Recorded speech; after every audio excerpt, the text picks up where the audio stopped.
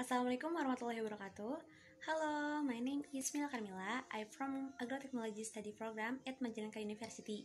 Here I will share to you how to make bean sprout from green beans using bottle. Enjoy for watching. Prepare tool and materials: green bean, water, basin, bottle, and bowl.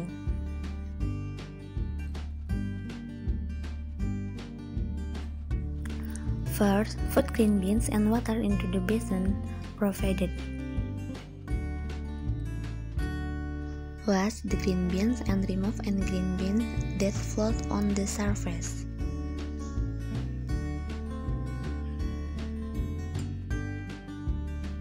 Then drain the green beans that have been washed. Then soak in warm water for 3 hours.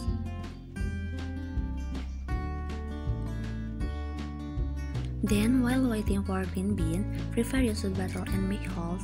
If there is no electric soldering, can with a match. Then discard the soaking water and drain the green bean. Next, put it in the prepared bottle and flatten the green beans. After that, put the bottle containing green beans into the black basket and flash it in a dark flash. This is the first day after the ripening process and already short root have grown. For watering, we do it every 4 hours with soaking.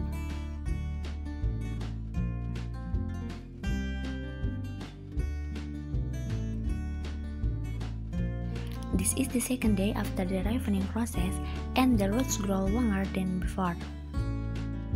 And this is the fourth day, the roots are long and have grown into bean sprout. Then we cut the bottle using a knife and move it to the basin. Then we wash the bean sprout and remove the bean sprout scald before cooking.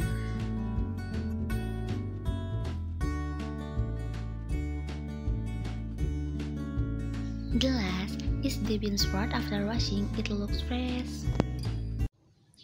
That is how to make bean sprout from green bean using a bottle that can be grown within 4 days at home. Thank you for watching. I hope what I share will be useful. See you. Wassalamualaikum warahmatullahi wabarakatuh.